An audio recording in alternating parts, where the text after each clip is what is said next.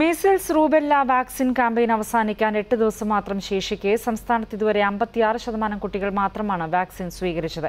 മലപ്പുറം ജില്ലയാണ് ഏറ്റവും പിന്നിൽ. വാക്സിനെതിരെയുള്ള പ്രചാരണം തിരിച്ചടിയായി എന്നാണ് വിലയിരുത്തൽ. ഇത് മറികടക്കാൻ പല ജില്ലകളിലും ക്യാമ്പയിൻ രണ്ടാഴ്ച കൂടി തുടരാൻ സർക്കാർ തീരുമാനിച്ചു.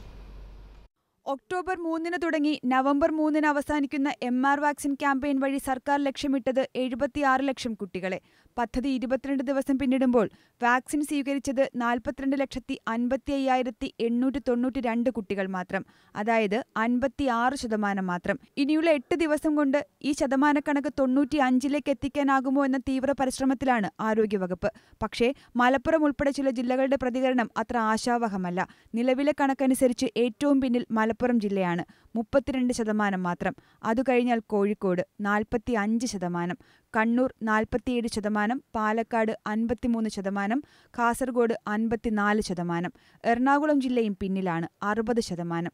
ഈ ജില്ലകൾ കേന്ദ്രീകരിച്ചാകും ഇനിയുള്ള കഠിന പരിശ്രമം. ജില്ലാ ഭരണകൂടങ്ങളുടെ കൂടി ആവശ്യം കണക്കിലെടുത്ത് രണ്ടാഴ്ച കൂടി സമയം നീട്ടി നൽകും.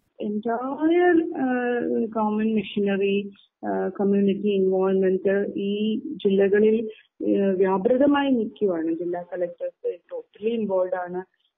ജി ലീഡേഴ്സ് ജില്ലാ പഞ്ചായത്ത് പ്രസിഡന്റുമാര് കോർപ്പറേഷൻ മേയേഴ്സ് മുനിസിപ്പൽ ചെയർമാൻ എല്ലാവരും ഈ ജില്ലകളിൽ വളരെ ആക്റ്റീവായിട്ട് ഇറങ്ങിയിരിക്കുകയാണ് അതേസമയം കുത്തിവയ്പ് നൽകുന്നതിനെതിരെയുള്ള പ്രചരണം ചില കോണുകളിൽ ഇപ്പോഴും ശക്തമാണ്. ഇതിനെ മറികടക്കാൻ നിയമപരമായ നടപടികൾക്ക് പുറമെ ബോധവൽക്കരണ പ്രവർത്തനങ്ങളും ആരോഗ്യവകുപ്പ് ശക്തിപ്പെടുത്തിയിട്ടുണ്ട്.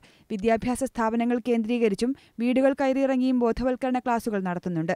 സ്വകാര്യ ആശുപത്രികളും സംഘടനകളും പിന്തുണ പ്രഖ്യാപിച്ചതോടെ വരും ദിവസങ്ങളിൽ കൂടുതൽ കുട്ടികൾക്ക് കുത്തിവയ്പ് നൽകാനാകുമെന്നാണ് പ്രതീക്ഷ. ഏഷ്യാനെറ്റ് ന്യൂസ് തിരുവനന്തപുരം.